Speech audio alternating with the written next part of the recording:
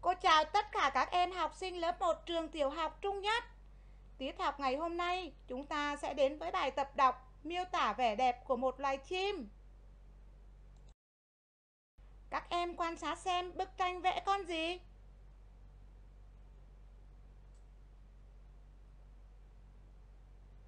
Bức tranh vẽ một chú chim công rất đẹp, phải không nào? Công là một con vật có bộ lông đuôi rất đẹp. Vẻ đẹp đó được thể hiện như thế nào? Bài tập đọc chú công hôm nay sẽ giúp các em hiểu rõ điều đó. Để giúp các em luyện đọc đúng, đọc hay, cô trò chúng ta đi vào phần luyện đọc. Các em lắng nghe cô đọc bài. Chú công Lúc mới chào đời, chú công nhỏ chỉ có bộ lông tơ màu nâu gạch. Sau vài giờ, công đã có động tác xòe cái đuôi nhỏ xíu thành hình rẽ quạt. Sau 2-3 năm, đuôi công trống lớn thành một thứ xiêm áo rực rỡ sắc màu. Mỗi chiếc lông đuôi óng ánh màu xanh sẫm được tô điểm bằng những đốm tròn đủ màu sắc. Khi dương rộng, đuôi xòe tròn như một cái quạt lớn có đính hàng trăm viên ngọc lóng lánh. Theo Lê Quang Long Cô vừa đọc cho các em nghe bài tập đọc chú công. Để đọc tốt bài này, các em hãy thật nhanh, tìm ra các từ khó đọc nào.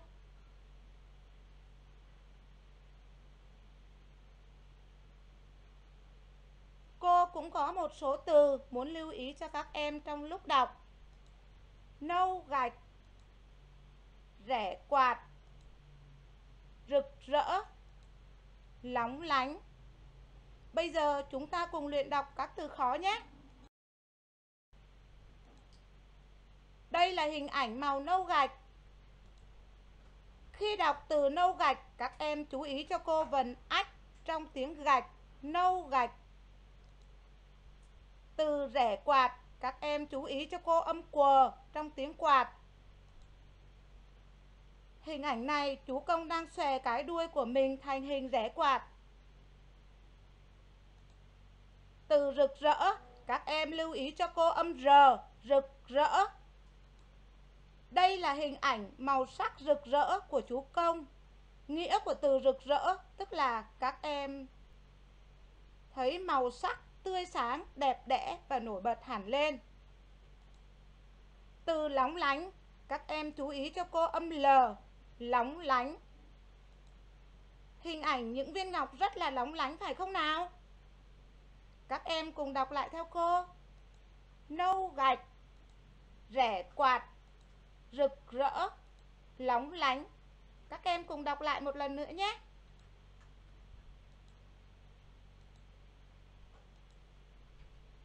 Vừa rồi các em đã luyện đọc những từ khó để đọc bài được đúng và hay, cô trò mình cùng chuyển qua phần luyện đọc câu. Cô đố các em, bài tập đọc hôm nay gồm có mấy câu?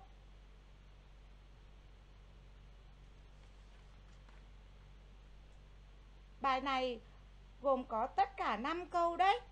Câu thứ nhất, từ đầu cho tới nâu gạch. Câu thứ hai, sau vài giờ cho tới hình rẽ quạt. Câu thứ ba sau 2 3 năm, cho tới rực rỡ sắc màu. Câu thứ tư mỗi chiếc lông cho đến đủ màu sắc. Câu thứ năm là phần còn lại. Bây giờ chúng ta cùng luyện đọc từng câu nhé. Các em chú ý. Khi đọc cần ngắt hơi ở dấu phẩy, nghỉ hơi ở dấu chấm. Lưu ý, đọc câu đầu tiên phải đọc cả tên bài. Chúng ta cùng đọc nào. Chú công Lúc mới chào đời, chú công nhỏ chỉ có bộ lông tơ màu nâu gạch. Các em đọc lại.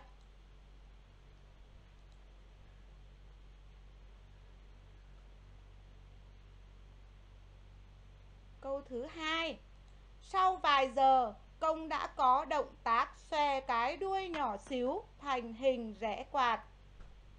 Đây là câu dài nên ngoài việc ngắt hơi ở dấu phẩy thì các em cần ngắt hơi ở tiếng xíu. Việc này giúp chúng ta đọc đúng và hay hơn đấy. Các em đọc lại nào.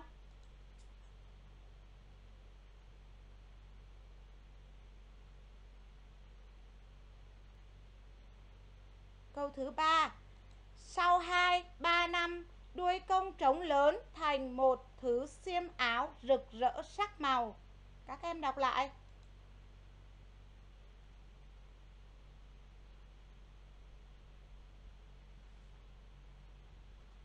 Câu thứ tư Mỗi chiếc lông đuôi óng ánh màu xanh sẫm được tô điểm bằng những đốm tròn đủ màu sắc. Các em cùng đọc lại.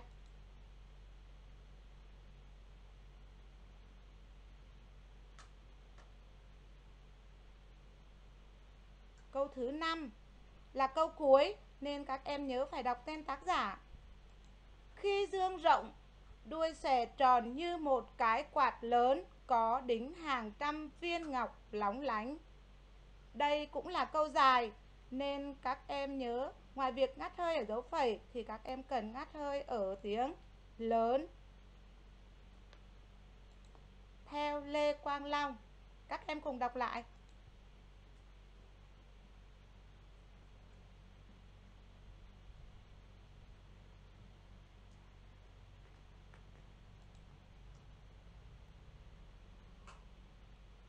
Các em lớp 1 trường tiểu học Trung Nhất ơi, các em có thể dừng màn hình và luyện đọc lại từng câu nhé. Bây giờ chúng mình cùng luyện đọc đoạn nào. Bài tập đọc hôm nay của chúng ta còn được chia thành hai đoạn. Đoạn thứ nhất, từ đầu cho đến hình rẽ quạt. Đoạn thứ hai là phần còn lại.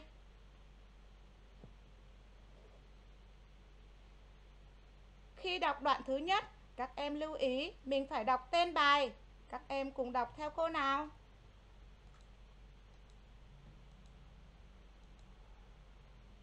Chú công Lúc mới chào đời, chú công nhỏ chỉ có bộ lông tơ màu nâu gạch. Sau vài giờ, công đã có động tác xòe cái đuôi nhỏ xíu thành hình rẽ quạt. Các em đọc lại.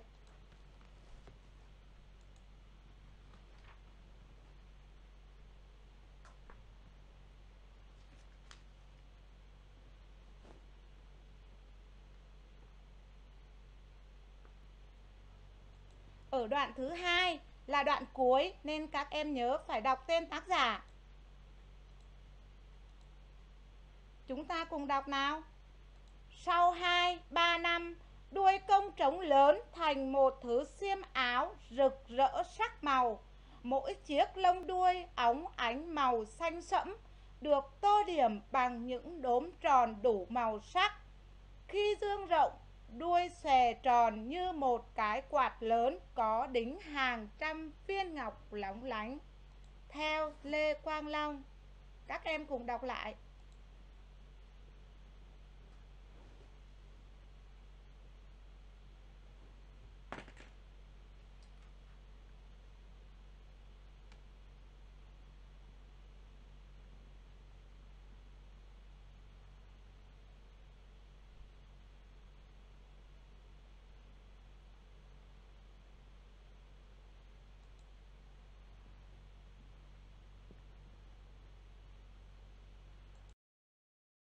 Giờ là lúc chúng ta đọc lại toàn bài.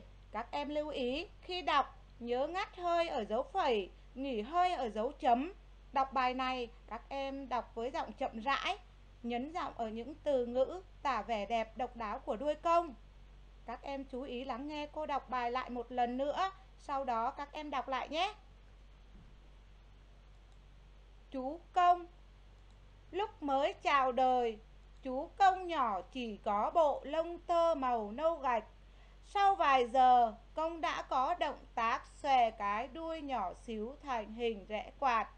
Sau 2-3 năm, đuôi công trống lớn thành một thứ xiêm áo rực rỡ sắc màu. Mỗi chiếc lông đuôi óng ánh màu xanh sẫm được tô điểm bằng những đốm tròn đủ màu sắc.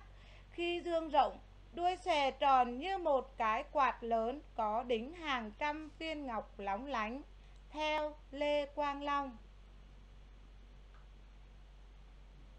Các em cùng đọc lại nhé.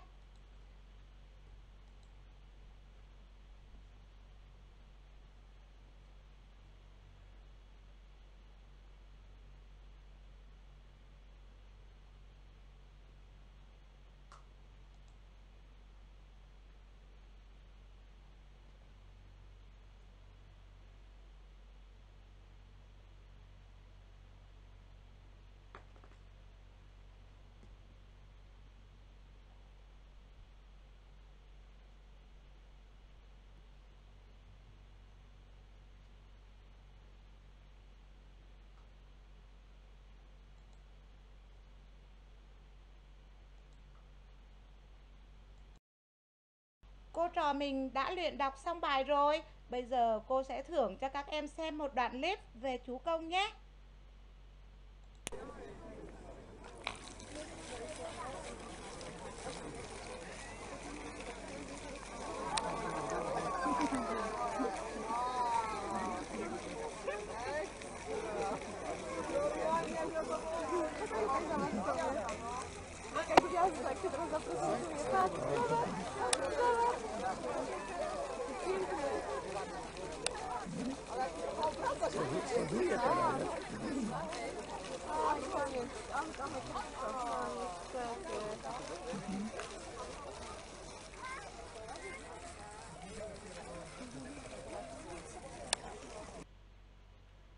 Chú công rất đẹp đúng không nào?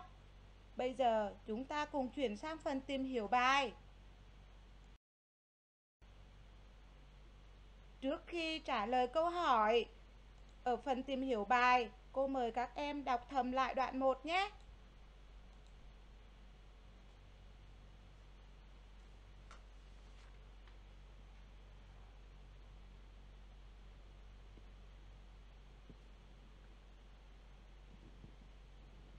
Câu hỏi như sau. Lúc mới chào đời, chú công có bộ lông màu gì? Các em suy nghĩ rồi trả lời câu hỏi.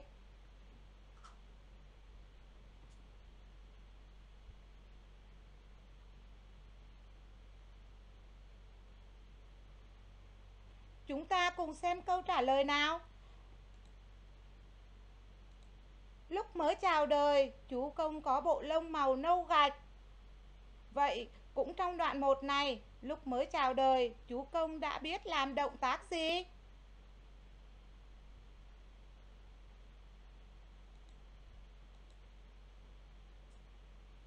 À, lúc mới chào đời, chú công đã biết xòe cái đuôi nhỏ xíu thành hình rẽ quạt đấy.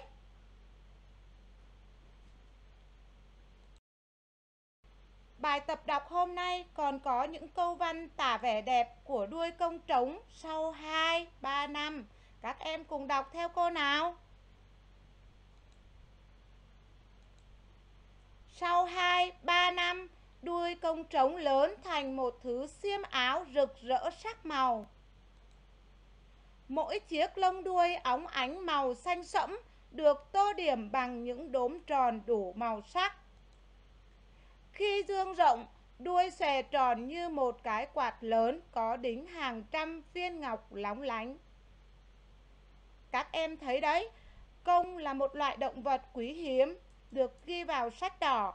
Hiện nay, nhà nước đã có biện pháp để bảo vệ tránh nguy cơ tuyệt chủng loại vật này. Các em nhớ, khi được ba mẹ cho đi chơi sở thú, thì các em không được chọc phá các loại động vật quý hiếm nhé.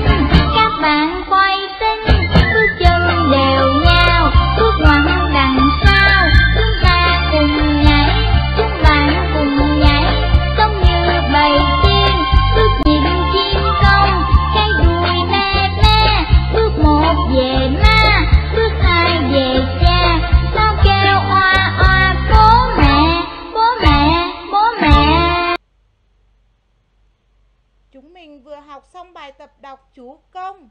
Chúng mình nhớ luyện đọc thật nhiều ở sách giáo khoa trang 97 nhé. Chúng mình cũng đừng quên hát thuộc bài hát về chú công, để hát cho ba mẹ mình cùng nghe nhé. Xin chào và hẹn gặp lại các em lớp 1 trường tiểu học Trung Nhất.